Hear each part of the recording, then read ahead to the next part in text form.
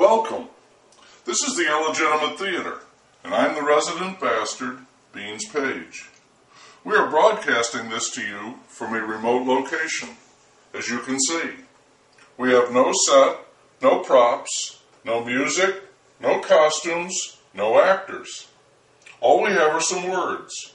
For this to work, you have to believe the words are real. You have to play along. So you're a partner. This is Theater of the Mind. Your mind. I'm going to read to you from something called The Polka Dot Pig.